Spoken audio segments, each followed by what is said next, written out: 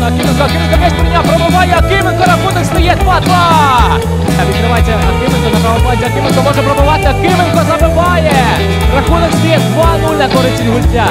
Кименко забиває свій другий м'яч у цьому сезоні. Кращий бомбардир першої ліги минулого сезону. Чебук виконує навіс, пробиває, Кименко поворотом, рахунок стає 1-1. А забиває третій м'яч у цьому сезоні. А Кименко стає дуже близьким, дуже близьким до свого, улюбленого звання, до звання кращого бомбардира першої ліги. І Акіменко розбігається.